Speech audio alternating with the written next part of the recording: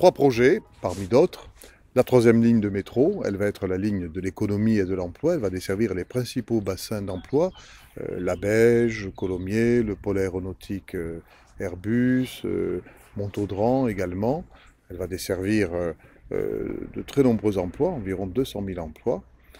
Deuxième idée que nous avons, c'est développer des zones d'activité nouvelles à fond d'air avec la logistique urbaine, la logique du dernier kilomètre pour les livraisons, qui n'en rentreront plus en centre-ville avec euh, un grand nombre de véhicules, mais seront sélectionnés avec des véhicules électriques. Et puis une autre zone d'activité qui est Francazal, destinée au transport de demain, au transport euh, euh, intelligent. Troisième mesure pour les start-up, l'idée c'est que pendant les sept premières années de leur vie, elles puissent être exonérées des impôts économiques de la collectivité, c'est-à-dire la CVAE et la CFE, de manière à soulager leur trésorerie et à leur donner une chance de perdurer supplémentaire.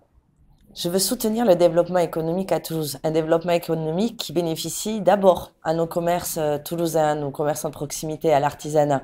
Le Made in Toulouse façon euh, capitale occitane, c'est le Fabricat à Toulouse. Le deuxième élément, c'est euh, de contribuer au rayonnement de Toulouse, ses forces de recherche, ses étudiants, ses écoles d'ingénieurs, son industrie qui est ici extrêmement importante. C'est positionner notre ville comme un centre de référence européen en matière de mobilité durable et intelligente.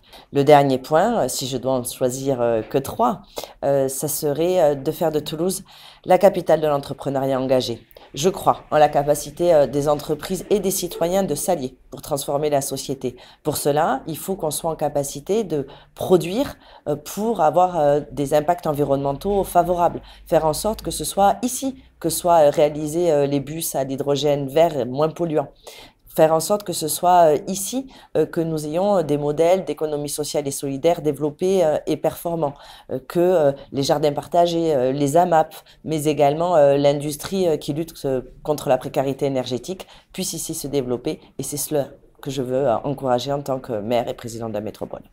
La première proposition, c'est d'avoir un moratoire sur la construction de nouveaux centres commerciaux dans la métropole et de favoriser le commerce de proximité, notamment un maillage dans l'ensemble des quartiers, en soutenant notamment euh, l'économie solidaire qui amène aussi un modèle coopératif et associatif qui nous paraît intéressant. Le deuxième, ce serait euh, d'accompagner et soutenir euh, l'émergence de nouvelles filières économiques pour diversifier notre économie autour de ce que l'on appelle les emplois climat par exemple autour de l'énergie bâtiment, euh, avec la rénovation énergétique, le développement des énergies renouvelables, ou encore l'alimentation, parce que nous voulons faire de l'agriculture et de l'alimentation de proximité une filière économique. Et enfin, euh, le recyclage, la réparation, toute cette logique de zéro déchet qui en fait peut amener aussi beaucoup d'emplois locaux de qualité. Le dernier axe, ce serait à travers la commande publique, euh, d'inclure des clauses sociales et environnementales qui vont permettre de développer euh, des emplois pour tous avec de l'insertion et aussi des emplois de qualité et euh, des emplois locaux parce que les clauses environnementales et notamment les émissions de gaz à effet de serre permettront de favoriser nos entreprises locales.